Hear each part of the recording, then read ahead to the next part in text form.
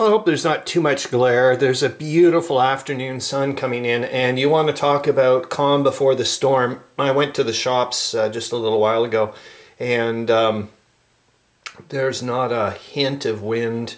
Absolutely, it's like minus five or minus six out there. Just be beautiful.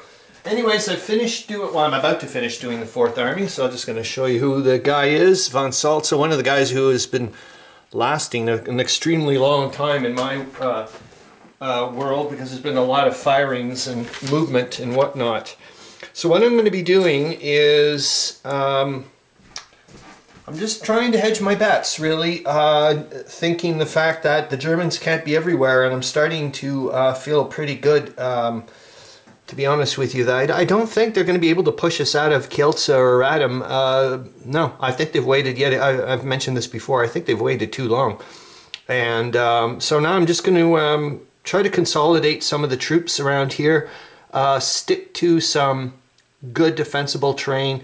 Uh, I would love to load up uh, over to here, but then I'm leaving uh, my left uh, exposed. So I'm just going to pull back a little bit, not too like to here, and I'm going to keep that spot here, and I'm going to just try to bring this up, uh, force them to um, expend a lot of energy if they want to force us out of there and all I'll end up doing is just retreating across the river back to Kielce, which is fine by me.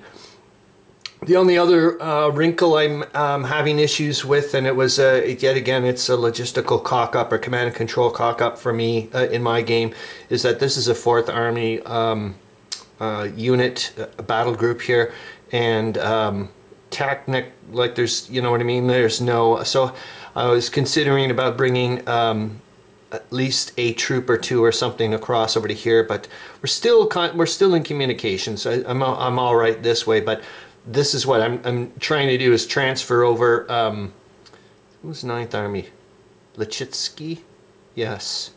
Uh, Ninth Army, Lechitsky's Lechitsky's army. He's uh, well, he's been brought over to here. Like I'm trying to make up um, a point to the Germans, basically, that we're not going anywhere, and. Um, there, and then I've got uh, Von Salza here, Stain and Kielce, and then we're just going to make a, a, move for it. So what I'm doing essentially is, uh, let's see, did I write them down?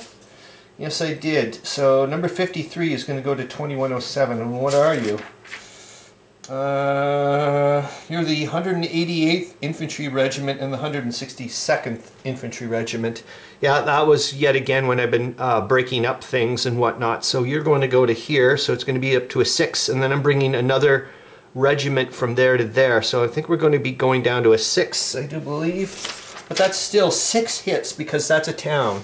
And if I use the town as my defensible uh, uh terrain and not the other stuff around it, uh, they need uh, as many uh, hits as strength points that I have there. And um, you know going down to seven or uh, from seven to six is not too bad.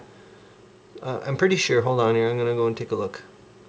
I'm just gonna move, move that guy out of there. Uh, 161st Infantry Regiment added BG 29 which is that one to join BG 14 at 2107 and if it's a regiment, it's going to be one strength point. Uh, that's a guarantee, at least for the Russians. Brigades, two, unless, you know, they're starting to get uh, shaved down a bit. You get the idea. Six, so that'll be a five, six, seven. That'll bring you down to, going to need three hits because it's one third the amount of, and and it's rounded up in favor of the um, the attacker, I mean defender, sorry. So if it's one third of seven, well, they're going to need three hits. That's just the way it goes. All right. And then I'm just going to move this this guy over to here, and that's number 18, and that's the 47th Infantry Division and the 2nd Brigade of the 70th Reserve Infantry Division and that's it. Like I said I'm just trying to load them up here. So I know that's uh, I mean I've only got so I only have so many units I can do. So that's um, okay. It's still going to be two hits but at least I'm in woods. And that's uh, three hits. So that shouldn't be too bad, and going to have to go uh, from that direction. Uh, and I still got a bit of broken terrain there, and then I've got six hits with the uh, Kielce. Forget that, that's not going to happen.